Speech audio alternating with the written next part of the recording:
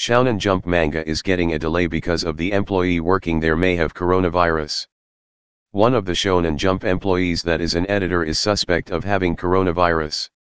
He had a fever and later went to a medical facility. He got a test to see if he got the coronavirus and is home waiting for the result of the test. He didn't come to work on April 2nd. He didn't meet with any of the manga artists. Shonen Jump made manga artists work from home to stop the spread of the coronavirus.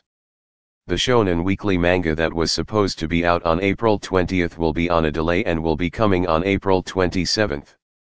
The Shonen manga that will be released on April 27 is One Piece Chapter 978, My Hero Academia Chapter 269, Black Clover Chapter 248, Demon Slayer, Kimetsu no Yaiba Chapter 203, Doctor Stone Chapter 148, and many more. I hope the editor gets well because the coronavirus is very deadly. I also believe it is a good idea for a delay because the virus causes lots of problems and any one worker near him could have contracted it if they had contact, and if he has the coronavirus. I believe it was a good idea for Shonen Jump to make the manga artist work from home. It will help stop the spread and will allow everyone else to get tested too if they want to see if they got it or not.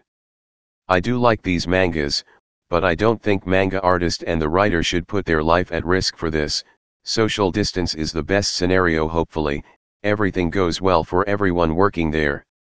It a stressful situation for them to deal with a situation like this knowing what's happening around the world from this virus, but if everyone does their part, and be careful it, can be stopped. Subscribe to my channel. Like and comment too.